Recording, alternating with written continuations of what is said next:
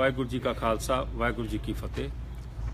ਬਹੁਤ ਲੰਬੇ ਸਮੇਂ ਤੋਂ ਦਿਆਲ ਸਿੰਘ ਕਾਲਜ ਦਾ ਮਸਲਾ, ਜਿਹੜਾ ਨਾਮ ਬਦਲਣ ਦੀ ਕੋਸ਼ਿਸ਼ ਕੀਤੀ ਗਈ, ਸ਼੍ਰੋਮਣੀ ਅਕਾਲੀ ਦਲ ਨੇ, ਦਿੱਲੀ ਸੇ ਗੁਰਦੁਆਰਾ ਪ੍ਰਬੰਧਕ ਕਮੇਟੀ ਨੇ ਇਸ ਇਸ਼ੂ ਨੂੰ ਚੁੱਕਿਆ ਸੀਗਾ।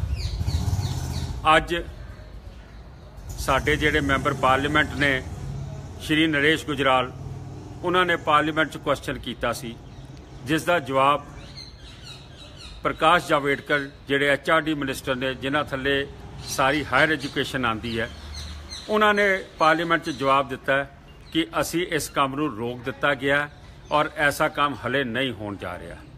ਸ਼੍ਰੋਮਣੀ ਅਕਾਲੀ ਦਲ, ਦਿੱਲੀ ਸਿੱਖ ਗੁਰਦੁਆਰਾ ਪ੍ਰਬੰਧਕ ਕਮੇਟੀ ਹੋਵੇ ਐਸਜੀਪੀਸੀ ਹੋਵੇ, ਹਮੇਸ਼ਾ ਸਿੱਖ ਮਸਲਿਆਂ ਤੇ ਪਹਿਰਾ ਦਿੰਦੀ ਹੈ। ਔਰ ਮੈਂ ਸਮਝਦਾ ਵਾਂ ਕਿ ਇਹ ਖੁਸ਼ੀ ਦੀ ਗੱਲ ਹੈ, ਜੇ ਸਰਕਾਰ ਦੇ ਕੰਨਾਂ ਦੇ ਵਿੱਚ ਇਹ ਆਵਾਜ਼ ਗਈ ਹੈ ਔਰ ਸਰਕਾਰ ਨੇ ਇਸ ਤੇ ਰੋਕ ਲਾਈ ਹੈ। ਅਸੀਂ ਸਮਝਦੇ ਹਾਂ ਕਿ ਸਿੱਖਾਂ ਦੇ ਐਸਾ ਇਤਿਹਾਸ ਹੈ, ਐਸੇ ਐਸੇ ਸ਼ਹੀਦ ਮੌਜੂਦ ਨੇ ਐਸੀ ਐਸੀਆਂ ਕੁਰਬਾਨੀਆਂ ਸਾਡੇ ਸਿੰਘਾਂ ਔਰ ਬੀਬੀਆਂ ਨੇ ਕੀਤੀਆਂ ਨੇ ਕਿ ਸ਼ਾਇਦ ਦੇਸ਼ ਭਰ ਦੇ ਵਿੱਚ ਬਹੁਤ ਵੱਡੀ ਗਿਣਤੀ ਦੇ ਵਿੱਚ ਇਹਨਾਂ ਨਾਵਾਂ ਤੇ ਕਾਲਜ ਔਰ ਸਕੂਲ ਹੋਣੇ ਚਾਹੀਦੇ ਸੀਗੇ। ਲੇਕਿਨ ਜ਼ਿਆਦਾਤਰ ਉਹਨਾਂ ਰਾਜਸੀ ਬੰਦਿਆਂ ਦੇ ਨਾਂ ਤੇ ਕਾਲਜ, ਸਕੂਲ 에ਅਰਪੋਰਟਾਂ ਦੇ ਨਾਂ, ਰੇਲਵੇ ਸਟੇਸ਼ਨਾਂ ਦੇ ਨਾਂ ਸੜਕਾਂ ਦੇ ਨਾਮ ਰੱਖੇ ਜਾਂਦੇ ਨੇ, ਜਿਨ੍ਹਾਂ ਦਾ ਰਾਜ ਰਿਹਾ ਹੋਵੇ।